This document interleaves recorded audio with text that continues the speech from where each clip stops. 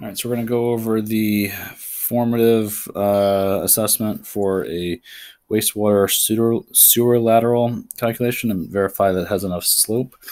Um, before we get started, I want to go over, so this is the formula I'm telling you to use. Um, and then if we go down a little bit, this is uh, the one in yellow is the one that uh, is presented by Project Lead the Way. Um, this is a slightly uh, modified version of this one that I'm asking you to use. I'm going to explain why. All right. So first of all, um, I'm not going to have you convert it to a percentage. I want you to actually calculate the um, the rise, really the fall, uh, in inches. Um, so instead of as a percentage, just do it in inches. And um, so let's go over this. So the lateral elevation, that is in feet, minus the sewer crown elevation, that's also in feet plus um, half the sewer main outer diameter. That's in inches, but that's also why we divided by 12. So that's in feet. So all of these calculations so far are in feet. And um, what we do is we multiply by 12. So all these calculations get converted to, you know, feet, uh, to convert from feet to inches, you multiply by 12. So now that becomes in inches. And I'm going to ask you to calculate the distance also. Um, and so what you do is you divide by feet, right? The distance is in feet. And so the units for the slope are in inches per foot, which is what we're looking for because we want it to be one eighth of an inch per foot.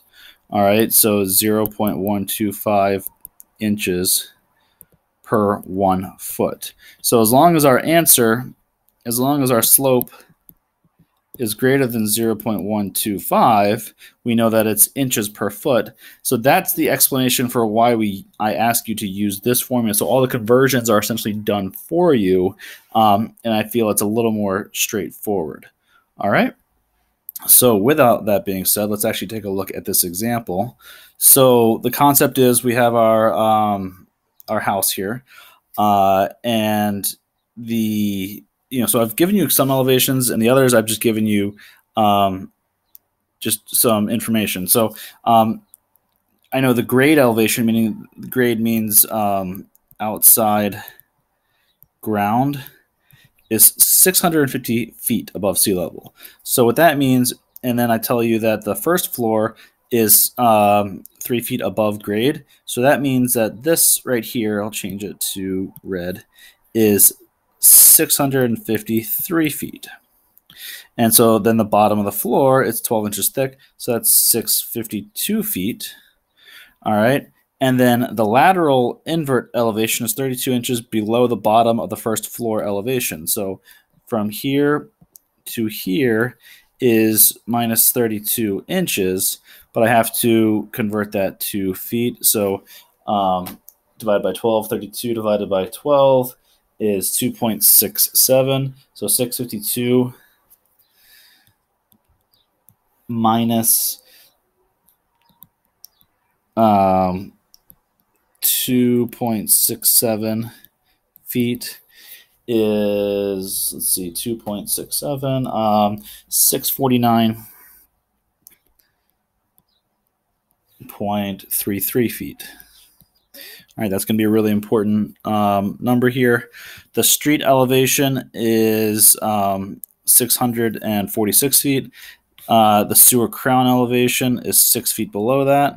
So from here to here is minus six feet. So that means that this elevation is 640 feet. And what I need to know is the invert elevation right here. All right, so I know it's a 16 inch outer diameter. So um,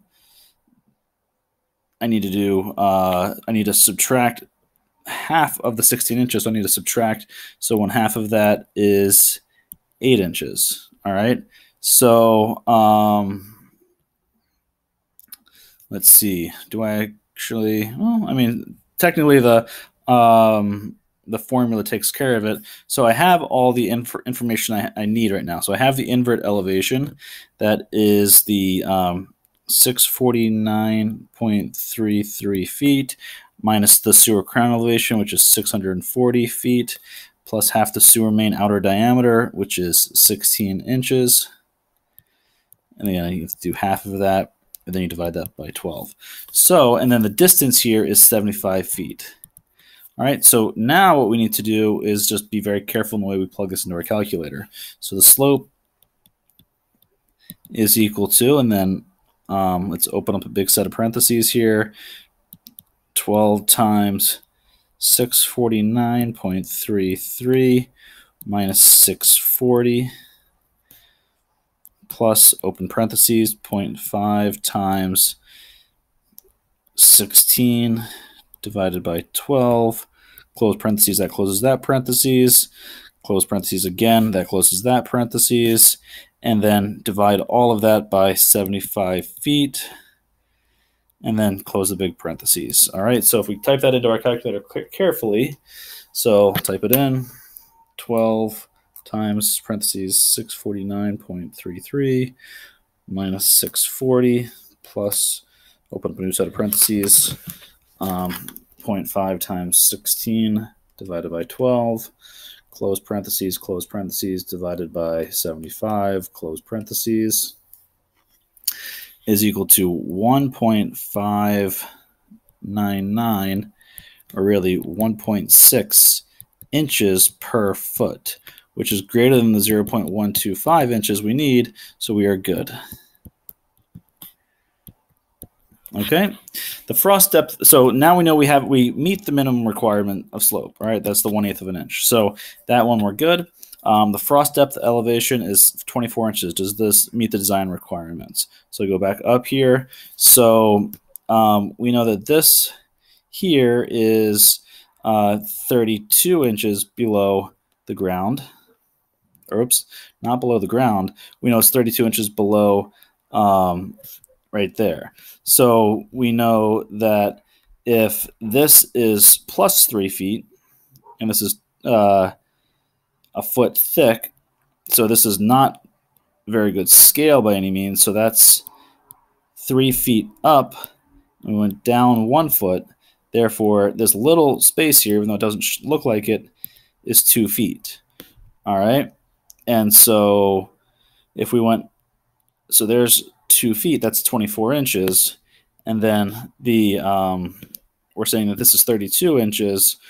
Um, that that's 24 inches. Uh, and we went down 32 inches to here.